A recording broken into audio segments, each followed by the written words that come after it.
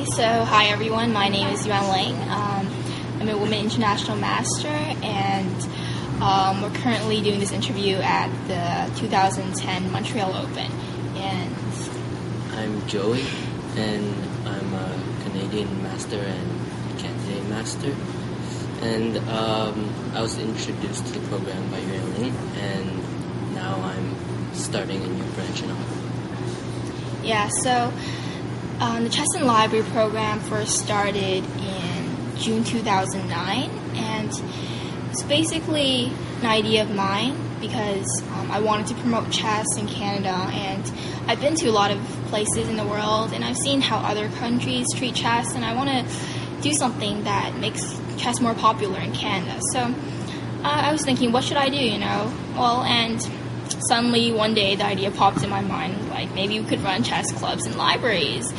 And also because library is um, is a public space and um, like the environment surrounded by books so I thought it was like really related to chess because it's a quiet place right? So it's like okay why not do it there? So I brought my idea to a librarian um, the branch head at the library that's right beside my school and we like talked for about a month.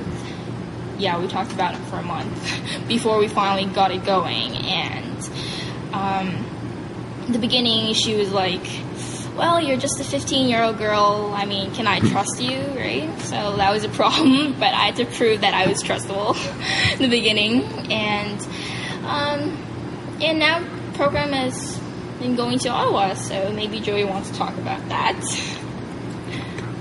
Uh, so, when I was first introduced to the program, um, I was I thought it was a really good idea, so I immediately contacted the head of my library branch, um, which is in my community, and I expected a long conversation, and um I thought I would have to work to get the program in the library, but it turns out I was wrong. The librarian she said that uh, sometime before another person had tried a similar thing, but um, he didn't run it well and it ended up not going so well. So she said uh, she thought if I could assure that um, I would continue this program, she would support me uh, all the way. And that was how it got started. How long ago was that? Um, it was in the middle of summer. This summer just passed? Yeah, Wow, so it's really recent. yeah. And this stuff is taking off, it sounds like. Yep.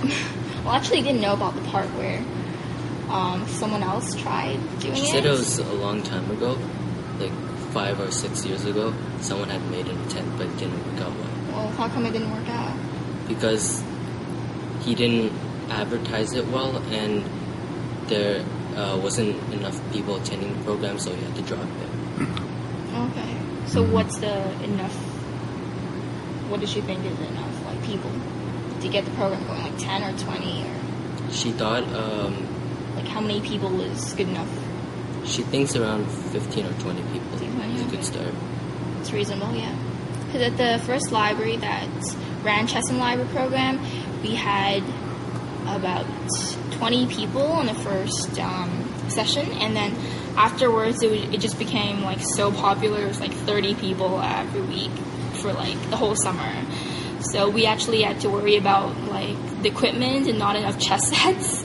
so I know it's crazy because in the beginning I was worried like nobody's gonna come, nobody's gonna come, and now it's like we're worried about too many people coming. so, but now the numbers have reduced because um, it becomes a more regular thing. It's not like you know when something's new, it's like people you know tend to like oh I'll go there, but then after a while it just there's like group of regular people that comes and it's about like numbers are around. Um, at all of our 11 locations right now, about 15 ish is our average. So, It turns out that they say in, in where I come from, which is applied social science, that 15 is the stable and ideal number for project groups. And it always seems to, Yeah, it's just yeah. A, a thought. Yeah, it happens that way. And it naturally is the most comfortable level they, they find for a, Yeah. for a, a social gathering. Anything more than that It's strange, isn't it? But anyway, go, go ahead. I, I just thought I'd throw that in. So when, when, how long did it take you to fully establish your first branch and move into the second?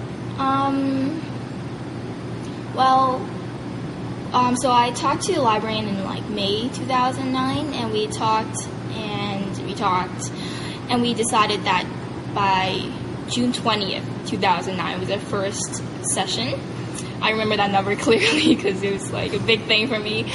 So, um, and then actually after like the whole summer, two months, um, we pretty much it was pretty stable, like 30 people, and um, and so then I thought that maybe we could expand this program to other libraries because in Toronto there's a total of 100 public libraries. So I was thinking, you know, maybe we could do it at other branches. So I talked to, so I went to other libraries and then I, um, I gave them the flyer and gave them information and tried to get the program started up at two other libraries that were, uh, that were also near me.